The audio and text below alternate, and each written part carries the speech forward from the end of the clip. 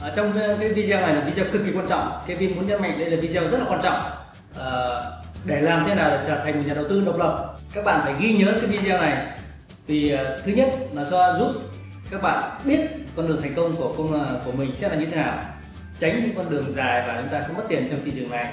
À, đầu tiên cái thứ nhất ấy, quan trọng nhất ở đây Kevin muốn nhấn mạnh với, với các bạn là thứ nhất là các bạn phải học hỏi mỗi ngày hoàn thiện kỹ năng giao dịch mỗi ngày hoàn thiện kỹ năng phân tích và nâng cao cái kỹ năng để ra quyết định.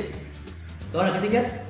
Cái thứ hai ấy, là các bạn phải kiểm soát được cảm xúc của bản thân. Các quyết định kinh doanh ấy phải nên được dựa trên kiến thức phân tích hiểu biết và lý lẽ chứ không phải dựa dựa trên cảm xúc. Các anh chị và nếu dựa trên cảm xúc thì chắc chắn là chúng ta sẽ sẽ thất bại trong thị trường này. À, và cái thứ ba là trong cái lĩnh vực này mà hối em là phải yêu cầu các bạn có sự đam mê. Phải đam mê và phải nghiêm túc với nó.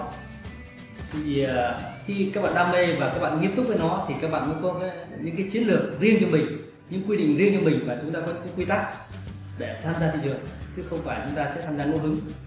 Và đặc biệt và chỉ có các bạn là biết là, là các bạn phù hợp với cái vị trí nào. Ví dụ như là trong bóng đá tiền vệ tiền đạo hậu vệ hay thủ môn thì các bạn phù hợp với với, với, với từng vị trí nào để các bạn biết phát huy sở trường của mình. À, ở ngoài kia ấy, thì rất nhiều rất nhiều người thầy à, dạy à, trên mạng dạy à, à, các phương pháp rất nhiều phương pháp rất nhiều cái cái cách giao dịch. Nhưng mà chỉ có các các bạn mới biết là các bạn phù hợp với phương pháp nào. Đấy. chứ còn các uh, phương pháp ở trên mạng thì người ta áp đặt cái phương pháp của họ cho bạn thì chắc chắn là cũng rất khó giúp bạn thành công đó là những cái bài học mà xương máu mà chính Kevin đã, đã, trải qua rồi. Và đúc kết như ngày hôm nay muốn chia sẻ với, với các bạn. Nếu các bạn đam mê clip này thì các bạn nghiêm túc với nó và các bạn học hỏi mỗi ngày nâng cao trình độ và biết mình phải làm gì. Cái video tiếp theo thì ờ, Kevin sẽ là có bài tổng kết phần 2 hẹn gặp lại các anh chị vào cái video tiếp theo. Xin chào và hẹn gặp lại.